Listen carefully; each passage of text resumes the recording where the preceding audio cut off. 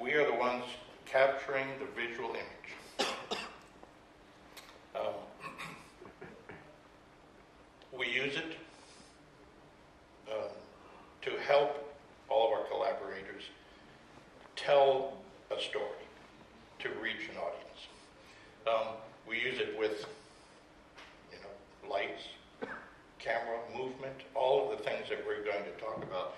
Um, I'll talk about it a little bit, will be sharing with you their viewpoint of this art form and how do we uh, capture these images and how do we capture images that are important to an audience.